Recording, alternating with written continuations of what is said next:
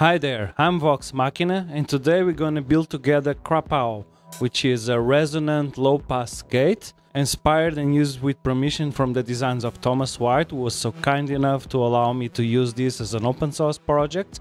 I'll leave the links down below, which will take you to my GitHub, where you can check all the manuals, the instructions, and the list part that you need, so everything that you need to build your own. It's a low pass gate with resonance control. Uh, it can also act as a filter and as a VCA with resonance control as well. It has an input and an output, uh, CV, bipolar, and unipolar inputs. And it also has this extra control to help time those lower frequencies in which the Vactrols are some difficult to deal with. So let's build it together. If this is your first time hearing about this module, maybe I'll recommend that you go on the links below to check what it is first. I'll leave a video with the sounds so that you can hear what it is and how it sounds first. But if you're here to build it, then we're going to build it together. So I'll start with my uh, spreadsheet where I have my components, references, and some small notes to help me out. So we'll start with the resistors. Uh, if you've seen my previous videos, you'll see that I always start this way. Just had a little bit of a solder on top first to hold the position. Then we turn around the PCB, cut halfway the legs, do the re remaining of the soldering to make them all equal and then we just trim it down and that's it. Once you've done this part, the resistors, which is always the mostly used component, everything else will become easier.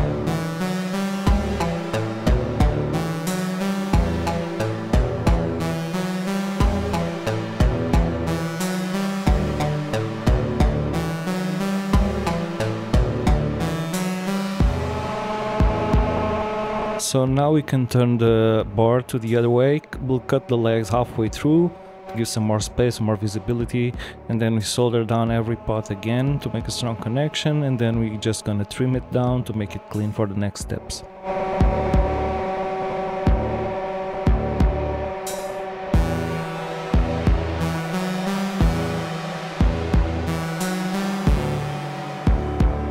Always try to start from the smaller components to the bigger ones. So next I'll do the capacitors, uh, same steps as always, but uh, only the resistors I will add solder on top.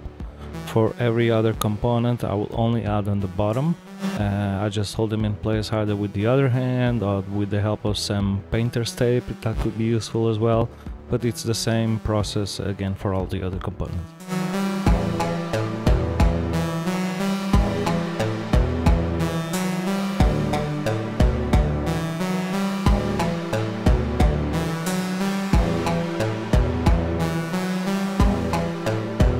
So now I'm gonna solder down the sockets for the ICs. I always recommend that you use sockets. Uh, it's been very useful to me more than one time when I had some issues. Uh, for example, I mounted the IC in the reverse way and then I could just take it off and put it in the correct way. So I always recommend you do this sockets first and don't solder the ICs directly to the board.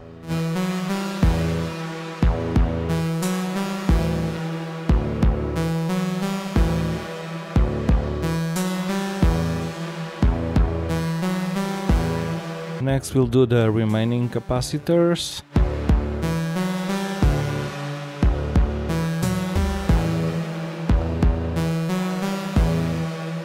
So now we're just gonna add the user interface elements, which are the last ones that we are missing soldering here.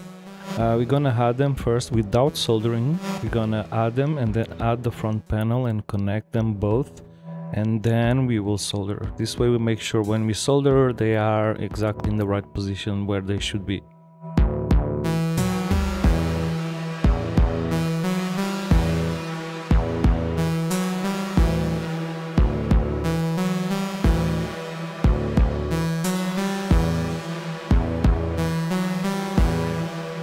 As you can see me here putting down the front panel I'll make different adjustments uh, depending just to check if all the user, user interface elements are great. Uh, especially the big switch, it's, it's a bit tricky because it's a little bit, just a little bit higher than the other ones. So you want to make sure that you make some of them strongly connected on the beginning, like on opposite sides, like I'm doing here and just check if everything is okay if all the legs on the back are out enough for you to solder them down and then that should be okay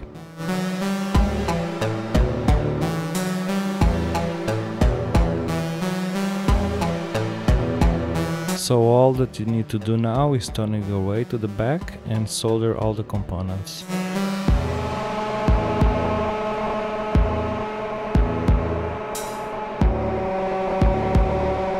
There you go, now we have the insert elements uh, soldered down so we can remove the face plate again because later on we still need to fit in the ICs on the sockets, but it's good to go for now. So for the last part, which are the pins that will connect on the top and on the bottom to the second PCB, I will just pick up a, a slide row of these pins, cut them on the 10th element, so because the PCB has 10 holes on the top and on the bottom. And uh, I'll solder them down at my own way, which I found it to be quite effective to make them all already in the good position from the beginning you just have to insert them with careful and put them on top of the table or another surface and this way they'll already be in the right position so I just solder the counterpoint solder points so to, so to create the connection first and then I just check the position and if everything is okay I just solder all the points.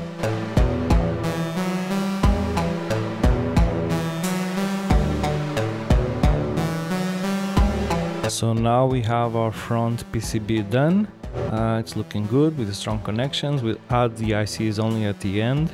Uh, yeah, looking good from the back as well. So with the pin connections, so we're ready to start for the second PCB, which is much simpler than this one. Mostly the second PCB will have the two Vactrols and the power section. And here we basically do the same process that we did for the first board. We start with the resistors, a little bit of solder on top, turn it around, cut it halfway the legs, solder the remaining, and trim them down and continue to capacitors and it's the same flow as before.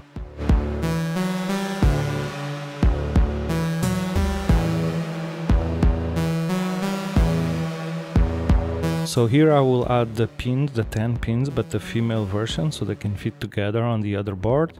It's exactly the same process I used before, I think it works well for me. Uh, insert the connectors without soldering, put them above the table together with the PCB on top and that should give you the right cooling position to start. Uh, solder the two counter points, the two most far away points from the connection and then check if the position is okay. If everything is okay, just solder all the way.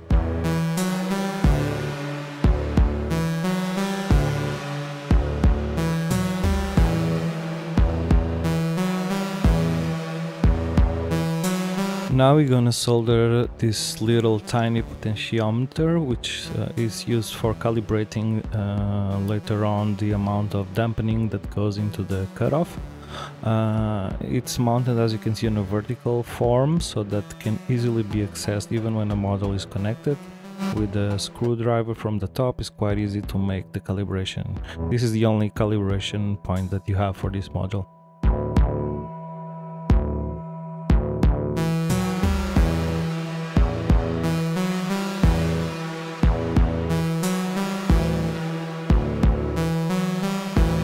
So now we're going to do the power connector, which is the only element that is soldered in reverse, meaning in the back of the panel of the PCB.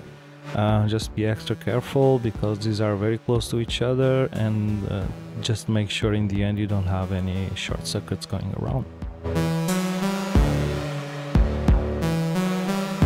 So now all that is remaining are the actual uh, Vactrols. I recommend getting them from a trustable source. I've got them from Thonk UK uh, and they prove to be really really good. Uh, specific these ones have a very short attack or very short response which I found it to be really perfect combination for this module. Uh, you can also make your own Vactrols if you're trying to save some money.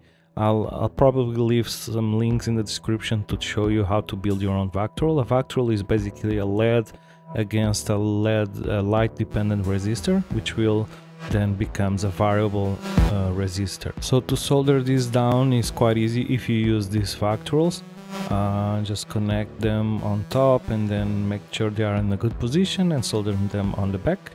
if you happen to use other kind of Vactrols or your own custom made Vactrols, I mean, just make sure you note down where the connections are to be so that then later on you don't have trouble figuring it out. For example, if you make your own custom ones, just write just write on top where is the plus connection for the LED and that's enough. That's basically what these have. They have a plus indicating where is the positive with the LED connection, which uh, automatically serves as a position indicator.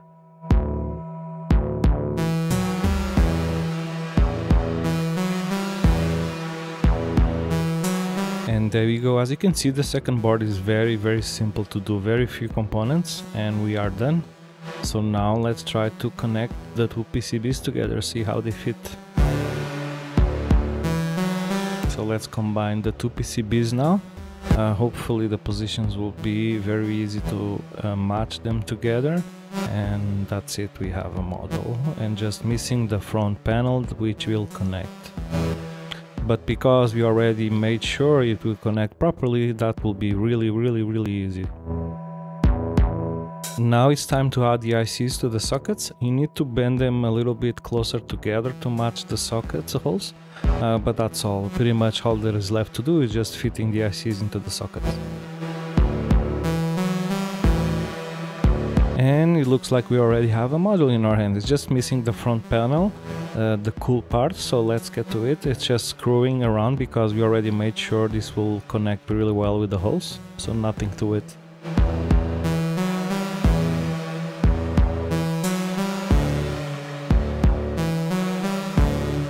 I love the Davies knobs, so I'll give you my advice. As you can see here, it's a little bit weird or might look weird. I'm actually using the cutter as a base because you don't want these knobs touching the top of the inner potentiometer because otherwise they will not flow correctly. So just give a little bit of space between the bottom of the board and the knob itself and it will be perfectly.